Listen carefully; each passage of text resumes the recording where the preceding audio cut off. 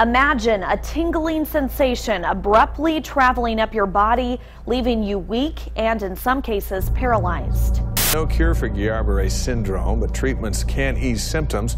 Most people recover from the disorder through some experience lingering weakness, numbness, fatigue, even paralysis. Thursday afternoon, he got his flu shots. By 10 o'clock Friday morning, he had chills and started feeling weak.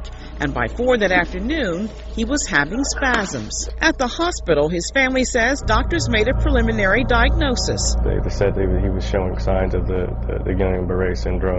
Doctors diagnosed the 56 year old with Guillain Barre syndrome, a rare disorder in which your body's immune system attacks your nerves. And in rare cases, can be the result of a flu shot. Cedar filed a federal claim through the National Vaccination Injury Compensation Program on Sherelle's behalf. And Sherelle isn't alone. There are thousands of cl ongoing claims right now. The large majority of claims that we see are flu and tetanus vaccines are pretty common.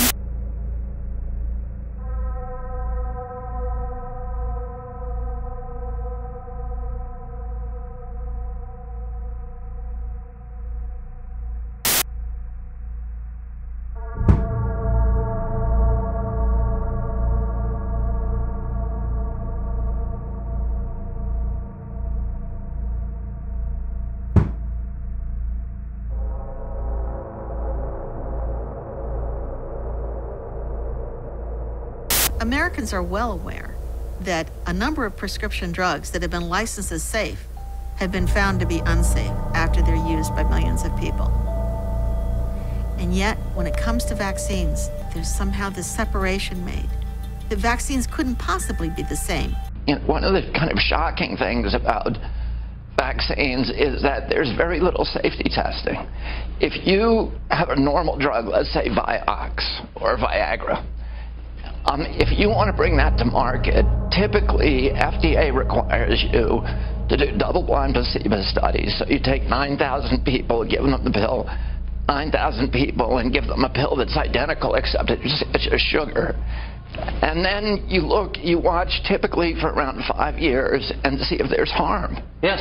Uh, with vaccines, all of those requirements are waived. My dad was forced to get a flu vaccine against his will. He experienced side effects almost immediately tingling sensation, numbness, dizziness, irregular heartbeat leading to racing, and fatigue. Dad hadn't ever had the flu in his life, despite working in healthcare for 33 years. On May 15th, 2013,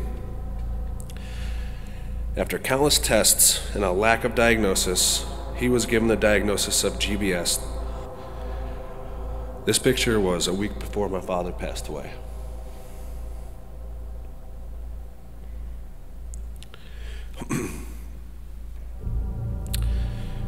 Big Mike Bailey succumbed to neurological damage caused by the flu shot on July 27th, 2017.